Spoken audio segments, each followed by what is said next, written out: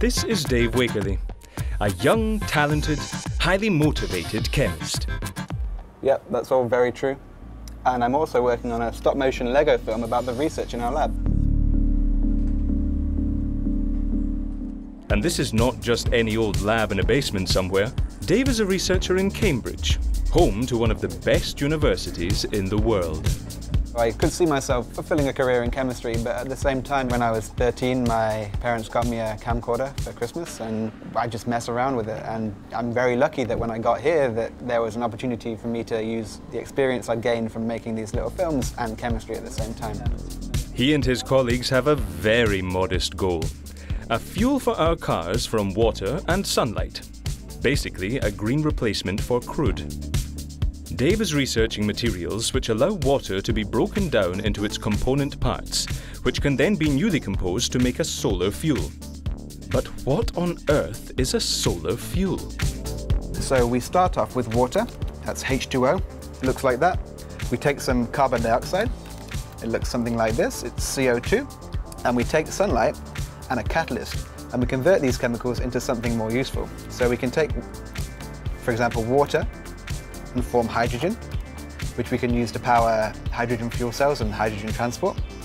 We can take CO2 and form um, carbon monoxide, and we form oxygen, which is fine. I breathe it all the time, and nothing's gone wrong so far.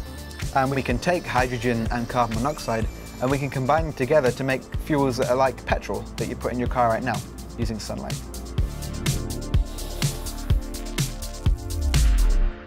One of the big problems for me personally is uh, the patience. It can take a, a very long time of uh, research and um, mistakes and things going wrong before you really begin to uh, get a good, good system. I can definitely compare that to making a film because there are a lot of mistakes that I've made and there are a lot of problems with the work I'm doing. But hopefully in the end I can uh, pull everything together and fingers crossed it will look okay. Clicking the shutter 2,000 times for one minute of video. That really sounds like fun and games. And the fun continues for Dave in the lab with hours of waiting for the test results. It takes considerable patience, especially when the tiresome molecules keep on behaving differently from what you would really like. But quitting is out of the question. I think the motivation for the group as a whole is just how, how practical our research could one day be. Uh, so we're looking at stuff that, although unlikely, could one day be used on a, on a large scale to produce renewable fuel, and that's a very good motivation for a chemist to come into work every day.